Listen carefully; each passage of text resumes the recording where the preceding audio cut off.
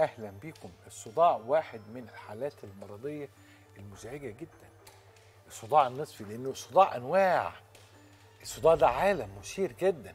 النهارده حوار مثير للغاية واسم أكاديمي متميز للغاية. النهارده في حوار شديد الأهمية لأنه هنشوف الحلول الج- الجذرية لموضوع الصداع ده مع ضيفي العزيز النهارده دكتور أحمد الشال استشاري علاج آلام العمود الفقري والمفاصل وال- والألام العصبية وصاحب دكتوراه المدرس بكلية الطب جامعة آه، القاهرة قصر العيني زماله البورد المصري لعلاج الألم دكتوراه علاج الألم عضو الجمعية المصرية لعلاج الألم. أهلا بيك يا أحمد. بسيادتك منورنا أهلا. شرف. أنا عايز الأول من ناحية ال concept بتاعكم بتاع علاج الألم. ما هو الصداع من وجهة نظرك؟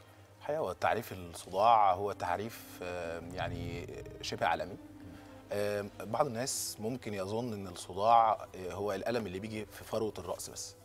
وعايز أبتدي كده الحلقة بإن أنا أصحح المعلومة دي. الحقيقة أي صداع في أي مكان في الرأس سواء بقى فروة الرأس مقدمة الجبهة حوالين العين حوالين ال- ال- ال- ال- ال- ال- ال- الوجه والجيوب الأنفية في آه، المنطقة الخلفية للرأس أو أعلى الرقبة.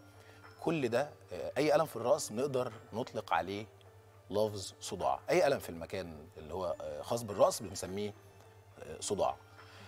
والحقيقة الصداع يعني منتشر جدا جدا يعني نكاد أو نقدر نقول تقريبا مفيش حد في العالم كله بيعيش من غير ما يجيله صداع على الأقل مرة واحدة في حياته. أي حد. يعني نقدر نقول إن الصداع بيصيب almost تقريبا 100% من الناس. على الأقل مرة واحدة attack واحدة فده مرض مشهور جدا جدا ومنتشر جدا جدا جدا. آه، وعشان هو مشهور الحمد لله إن هو simple يعني هو معظم حالاته very simple تبقى attack شوية إجهاد توتر ويروح يبقى ياخد مسكن بسيط كده وينتهي. وإن كان في بعض الحالات النادرة بيكون الصداع indicator لمرض خطير. الحمد لله دي حالات نادرة. وفي بعض الحالات التانية يعني مش نادر قوي بس حالات قليلة. يكون صداع مزمن ومعقد وعلاجه آه، بيكون صعب وبيحتاج فريق طبي وتعاون تخصصات طبية كتيرة جدا علشان علاج الصداع آه، المزمن بالذات. إيه أنواعه بقى؟ آه، الحقيقة نقدر نقسم أنواع الصداع لصداع ثانوي وصداع أولي. آه، صداع ثانوي يعني صداع له سبب له سبب. ثانوي يعني صداع له سبب. وفي الحالة دي بنعتبر الصداع كعرض. عرض لمرض تاني ثانوي هو المتسبب في حدوث هذا الصداع. زي الضغط أو التهاب أسباب كتير قوي آه. جدا. بس في الآخر لازم نتعامل مع الصداع إن هو عرض علشان نقدر ندور على المرض ونعالج المرض المسبب لهذا الإيه؟ الصداع. يعني مثلا زي مثلا آه، آه، حد عنده سخونية أو ارتفاع درجة الحرارة آه، ده عرض. لازم ندور على المرض مثلا ضربة شمس التهاب بكتيري التهاب فيروسي عشان نقدر نعالج العرض والمرض الاثنين أسباب كتير بقى يعني أشهر الأسباب دي مثلا أسباب في المخ نفسه.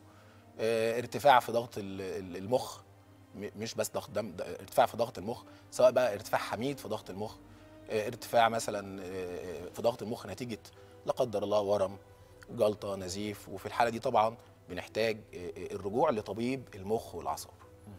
ممكن يكون سبب ثانوي نتيجة ضعف في النظر. يعني أنا جالي في العيادة حد تقريبا قعدت آه، آه، حوالي خمس سنين عندها مشكلة في الصداع وإحنا بنسيرش في الأسباب أو بنبحث في الأسباب كانت المشكلة إن هي عندها ضعف نظر مش كبير قوي ولكن بيعمل إجهاد في عضلات العين لما راحت لطبيب العيون نصحناها لبست نظارة وخلاص كل حاجة كانت مظبوطة وده حاجة مهمة لابد. من علاج ال- الايه السبب لو في سبب. آه، مثلا الصداع الجيوب الأنفية لما يوطي خصوصا في السجود مثلا الألم يزيد. آه، آه، مشكلة في في الأذن مشكلة في الضروس مشكلة في مفصل الفك. حد بيجز على أسنانه بالليل أو عنده مشكلة. ففي الآخر لابد من آه، تحويل ال- ال- ال- ال- المريض للمتخصص عشان نعالج الإيه؟ السبب لو هو سبب ثانوي طبعا زي ما حضرتك ذكرت مثلا ارتفاع ضغط الدم أنيميا. الأنيميا بتوصلش الدم كويس للمخ فمن ضمن أسبابها الصداع ضغط الدم ده من أشهر الحاجات اللي عند الناس.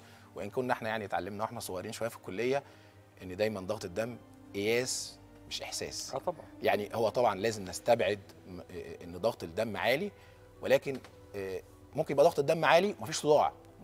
دي معلومة مهمة آه قوي طبعا. والعكس بالعكس صداع موجود ومفيش ضغط طبعا. دم عالي ولكن لابد. من استبعاد آه، عشان في معلومة مشهورة حتى لما كنا صغيرين نقف في- الاستقبال للطوارئ أي حد مصدع يجي يعدي يقول لك قيس الضغط. لا مش شرط. طبعا لازم تقيس الضغط نستبعد إن الضغط عالي ولكن ممكن يبقى مصدع لاسباب تانية كتير. آه. فموضوع الصداع بيحتاج فريق طبي كبير علشان نقدر نوصل لل- لل- لل- لل- للسبب ومن ثم نقدر نعالج ال- ال- المشكلة. مش دايما يعني يبقى simple رغم إن الحمد لله أغلب الحالات بتكون simple ده بقى كل ده بالنسبة للصداع الثانوي. ثانوي له سبب. إذا عولج سيتوقف. صحيح كده. أغلب أنواع الصداع بقى بتكون سبب أولي. أولي ده يعني نقدر نعتبر إن الصداع ده هو المرض. لأن إحنا لما دورنا ما لقيناش ليه سبب. فنبتدي بقى أو ما عرفناش السبب. ما وصلناش لسه أو ما عرفناش. صحيح. صح. فبنبتدي بقى نفرض نظريات. والله الحقيقة الصداع الأولي آه، آه، واحد يقول النظرية طبيه طبعا إن في استثارة في الأعصاب المسؤولة عن ال- آلام الرأس. حد تاني يقول لا ده بيحصل يعني زي فازودايليتيشن أو اتساع في ال- الأوعية الدموية اللي رايحة تغذي المخ. فالدم يتدفق للمخ بشدة فالبني آدم وشه يحمر ويصدع نظريات. في الآخر نتيجة خلل في إحدى المكونات صحيح. ال cations الصوديوم أو البوتاسيوم أو الكالسيوم في الدم. آه، ودي برضو بيبقى ليها أسباب. ففي الآخر هي نظريات أشهرها طبعا موضوع اتساع الأوعية الدموية اللي بيروح للمخ تسبب الصداع. في الآخر مفيش سبب واضح كلها نظريات وبيكون ملوش سبب قوي بنقدر نعتبره بقى ان ده مرض. هو ده مرض ولازم يتعالج هو بنفسه لأنه ملوش سبب وده بقى يعني أنواع كتير قوي قوي. طيب نعيش مع الصداع الأولي اللي هو الصداع. غير معلوم السبب. غير معلوم السبب آه. بالنسبة لنا. الصداع التوتري. الصداع التوتري التوتري هو أشهر نوع في أنواع الصداع مطلقا. أصلا. يعني أنواع كتير قوي أشهر نوع الصداع التوتري. يعني حتى من اسمه كده بيبقى غالبا نتيجة حدوث توتر والتوتر هنا مش معناه توتر نفسي فقط قد يكون توتر جسدي يعني إرهاق نفسي شديد أو إرهاق جسدي شديد حد عمل مجهود أكبر من قدرته على التحمل ممكن يحصل الصداع التوتري وعادة يجي في صورة آه، آه، حزام يحزم الرأس يعني عارف حضرتك الست اللي بتيجي دايما ربطة دماغها. رابطة دماغها كده آه. حوالين رأسها آه. هي بتلف فعلا حوالين الأماكن اللي بيجي فيها الصداع التوتري وهو بالمناسبة معظم أنواع الصداع أكتر عند السيدات ما عدا الصداع العنقودي لما نروح له ممكن يعني ده النوع الوحيد اللي بقى أكتر عند الرجال. طب إيه النوع الثاني من الصداع غير التوتري؟ الصداع التوتري ده أشهر نوع. آه، آه، في صداع آه، غريب شوية. ممكن نعتبره صداع ثانوي صداع نتيجة الاستخدام المسكنات.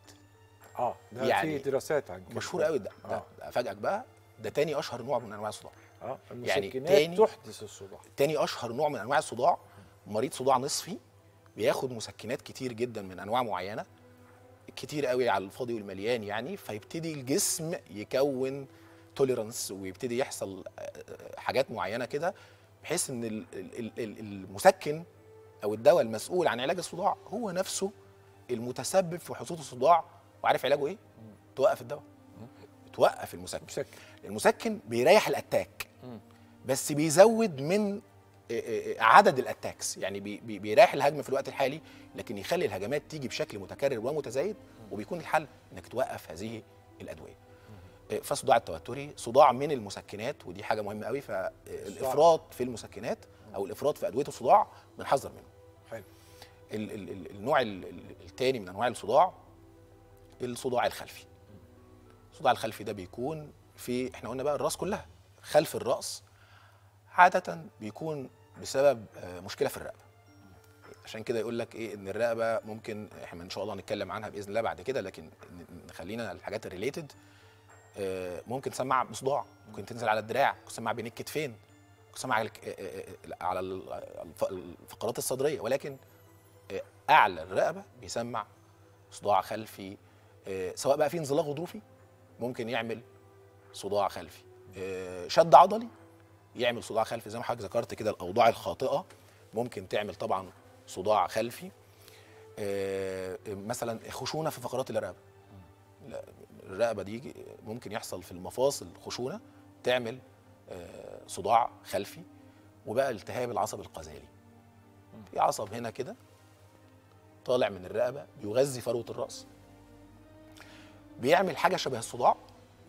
بيبقى التهاب عصب يعني ممكن يبقى فيه كهرباء حرقان وخز طعنات تنميل ماسك ال ال ال الراس من ورا جاي على قدام بيبقى صورة من الصداع لكن طبيعة الالم مختلفة. ولكن نقدر نعتبره نوع من أنواع الصداع وكل واحد بقى بنعالجه. يعني طبعا أدوية الأول وعلاج تحفظي ولو ما نفعش لو خشونه بنقدر نعمل تردد حراري انزلاق غضروفي بنقدر نشوف هل تحفظي ولا جراحي ولا تداخلي. طبعا العصب القذالي بنقدر نعمل له حقن يعني كل حاجة بيبقى ليها العلاج بتاعها على حسب السبب المسبب في الصداع الخلفي. هنيجي بقى للعنقودي والنصفي. آه لا دول اتنين بقى طبعا دول اتنين كاتيجوريز كبار ويعني في ناس كتير بتدخلهم في بعض. نتكلم على العنقودي الأول. العنقودي ده أسوأ نوع في أنواع الصداع من حيث ده الشدة. اللي أنا قلت عليه ممكن يؤدي آه، للانتحار بيسموه الصداع الانتحاري. أما هو لأن في حالات كتير. pain يس آه. لأن هو هو أكتر في الرجالة. لأن آه، هو الأول صداع عنقودي ليه سموه عنقودي. هو صداع غريب قوي. آه، هو بيجي على هيئة هجمات الهجمة تقعد مثلا أسبوعين ثلاثة شهر شهرين ثلاثة وتختفي تماما. تقعد مختفية سنة سنتين وبعدين تتكرر أسبوعين ثلاثة شهرين ثلاثة وهتختفي سيزونال يعني موسمي. موسمي. فهو بيجي شبه العنقود آه، على هيئة مراحل وبيكون شديد جدا جدا. عشان كده برضو بنسميه صداع الانتحاري. بيبقى حوالين العين قوي بيبقى فيه نبض. واحيانا بيكون فيه زي دموع أو إفرازات من ال- العين أو الأنف وما بيستجيبش لأي نوع من أنواع المسكنات. لدرجة بعض الناس يعني ممكن يصل إلى حد إن هو يتعاطى بعض المواد المخدرة على أمل إن هو يسكن الهجمات بتاعة الصداع العنقودي وقد يصل ربنا يعافينا وإياكم إلى الإدمان. ما بيستجيبش للمسكنات. يستجيب لإيه بقى؟ أثناء الهجمة حاجة غريبة جدا. لو إن لما تحط أكسجين جلسه أكسجين الصداع يهدى.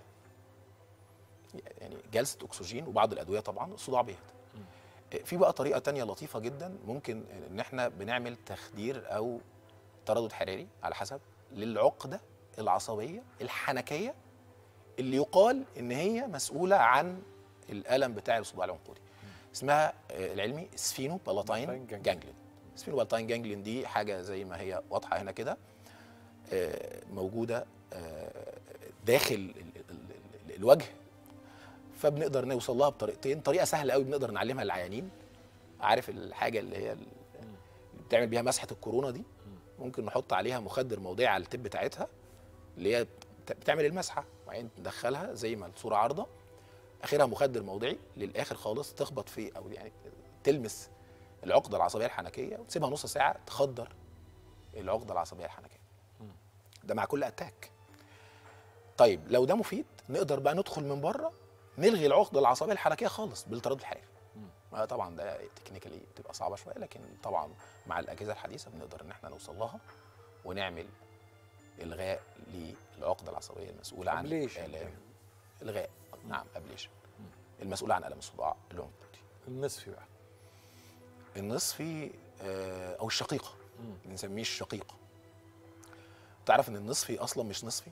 هو مش نصفي مش شرط يكون مش شرط يكون كله. نصفي. هو ممكن اسمه يجي في نصفي، الدماغ كلها. آه. ممكن يجي في اليمين ممكن يجي في الشمال.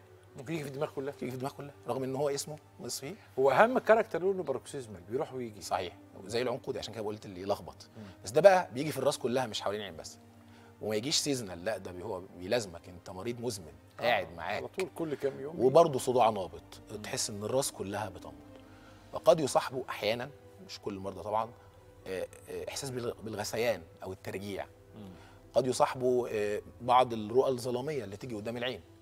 قد يصاحبه طبعا آه، حاجات سمعية. خوف شديد جدا من الضوء. تلاقي المريض انعزل في أوضة ضلمة لوحده خايف من الضوء خايف من أي دوشة. يسمع أي صوت جنبه خايف. يشوف أي نور خايف. هو منطوي تماما في أوضة ضلمة هادية منعزل تماما.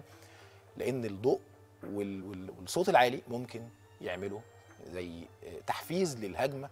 ويكون منزوي تماما. ومن هنا بقى نقول إيه بقى؟ يعني هو أصلا في حاجات محفزات ومحفزاته غريبة قوي. الضوء. الضوء الصوت. الصوت.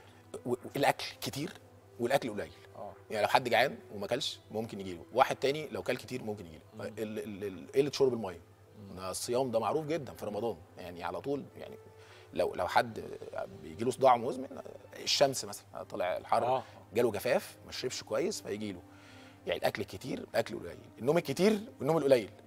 يعني حد نام قليل ممكن يجي له صداع نصفي حد نام كتير ممكن برضه يجي له صداع نصفي فبيختلف بعض أنواع الأكل. ال chocolates مثلا المية الغازية ممكن تزود الهجمة عند بعض الناس. فكل واحد بقى بيعرف طبيعة جسمه وإيه اللي بيجيب له الهجمة وبيبقى بقى خلاص مزمن فصاحب المرض فبيبقى عارف إيه اللي بيزود الهجمة وبيحاول إن هو يقلل من ال triggers بنسميها ال triggers محفزات الهجمة بتاع الصداع. إحنا لازم نعالج حاجتين علاج ال ال ال ال ال ال الهجمه وده اللي الناس كلها بتعمله لكن لازم نعمل علاج وقائي مش إحنا قلنا ان هو هجمات الهجمه بنعالجها بالعلاج المعروف مش هنقول اسماء علميه هو اسمه migraine بالمناسبه يعني فالادويه بتاعته التجاريه بتبقى آه. مشتقه من الاسم ده إيه، sumatriptan ergotamine في الآخر قريبه من كلمه ماي- migraine أو migraine ال- ال- ال- العلاج الوقائي بقى ده مهم قوي العلاج الوقائي ده يعني تقلل الهجمات وت- وتخفف من حده الهجمه وده تحت إشراف طبي وبيبقى غريب على فكرة يعني بيبقى عشان كده بيضايق بعض الناس. يعني تلاقي مثلا مضاد صرع مضاد اكتئاب علاجات للضغط بس هي دي العلاجات المثبتة في علاج ال ال ال ال ال الوقائي لعلاج الصداع النصفي اللي بتقلل الهجمات. ولو المريض ما بيستجيبش كل ده آه، في حقنة جديدة كده لطيفة ب- آه، يعني بتضاد عمل لل CGRP اللي هو ال calcitonin gene related peptide ويقال إن هو ال ال ال ال ال الهرمون المسؤول عن الصداع. غالي قوي صراحة يعني بعد ناس كتير. إنما بوتوكس إحنا ممكن نقدر نحقن بوتوكس في أماكن معينة كانت ظاهرة من شوية على الشاشة. آه، وده إجراء FDA approved بالمناسبة. لعلاج الصداع النصفي بيريح المريض تقريبا ست شهور وممكن يكررها تاني بأمان كبير ونسبه نجاح مع- كويسة عالية. فيعني ده حلو يعني جدا كده يعني. فت شوية دي بس. كل ال- القصص المتعلقة بالصداع. الصداع مأساة كبيرة جدا ممكن تواجه أي إنسان تخليه لا يعرف يشتغل ولا يعرف يركز ويبقى مشكلة كبيرة للغاية في جدا. حياته. صحيح. نورتنا وأسعدتنا شرفت بحضرتك. ضيفي العزيز العلمية الله. القديرة الأستاذ الدكتور أحمد الشال استشاري علاج آلام العمود الفقري والمفاصل والأعصاب. صاحب الدكتوراه المدرس بكلية طب قصر عيني جامعة القاهرة زمالة البورد المصري لعلاج الألم والدكتوراه علاج الألم عضو الجمعية المصرية لعلاج الألم نورت.